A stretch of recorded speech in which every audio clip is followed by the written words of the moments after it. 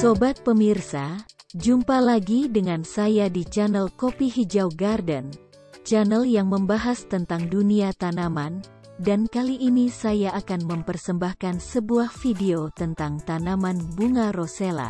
Tapi sebelum video kita lanjutkan, Jangan lupa untuk dukung channel saya dengan cara tekan tombol subscribe dan like pada video ini, dan juga bagikan informasi ini ke teman, atau mungkin keluarga Anda, dan mari belajar bersama.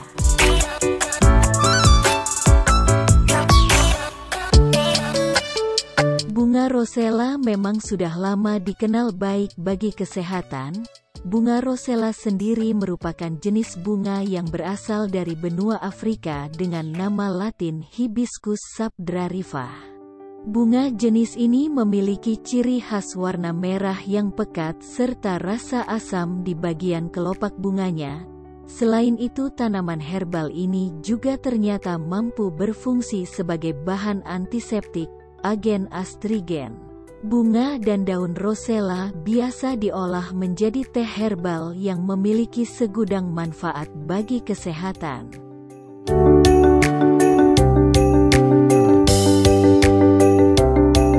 Bunga ini kaya akan vitamin C dan beta-caroten.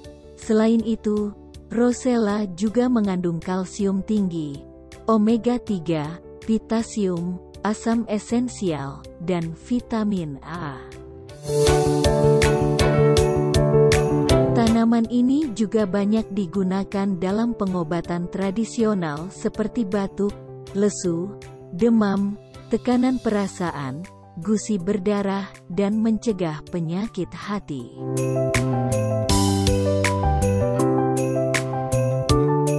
Dan berikut 8 manfaat bunga rosella untuk kesehatan yaitu menurunkan tekanan darah tinggi, mengatasi kolesterol tinggi, mencegah resiko terkena obesitas, mencegah penyakit jantung, mengatasi infeksi peradangan, menjaga saluran pencernaan, merangsang menstruasi, melindungi kulit wajah.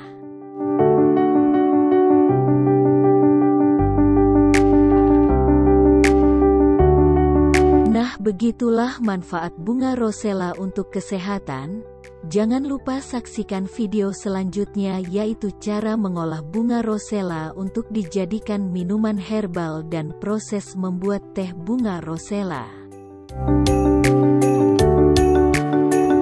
Semoga ini bisa menambah wawasan untuk kita semua, dan tetap menjaga kesehatan dengan menerapkan gaya hidup sehat dan rajin berolahraga. Cukup sekian dari saya dan salam satu hobi. Wabillahi taufik wal hidayah. Wassalamualaikum warahmatullahi wabarakatuh.